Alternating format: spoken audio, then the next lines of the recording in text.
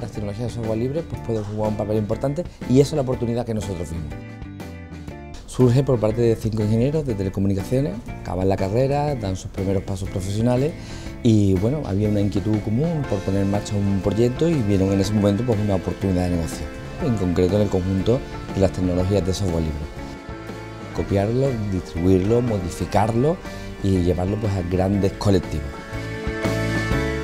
La empresa casi toda su época, casi toda su vida la ha pasado en épocas de crisis. Pero bueno, los cinco compañeros que eran inicialmente hoy están en torno de 100.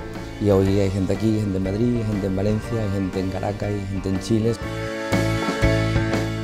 Vimos que nuestro motor, el motor fundamental de la cartera comercial del sector público, que las necesidades que estaban teniendo aquí hace 5 o 6 años empezaban a reproducirse muy mucho en ciertos países eh, latinoamericanos.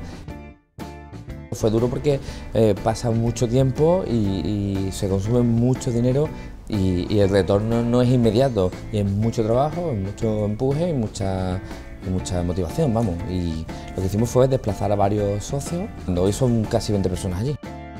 Eso se lo digo con orgullo, o sea, la compañía la viene a buscar de muchas partes de España y de muchas partes del mundo. Y es tecnología que se crea aquí, con gente ingenieros capacitados aquí, que chicos andaluces formados en Andalucía, que yo creo que está ayudando a, bueno, por lo menos a cambiar esos tópicos y, a, por lo menos no quedarnos ahí.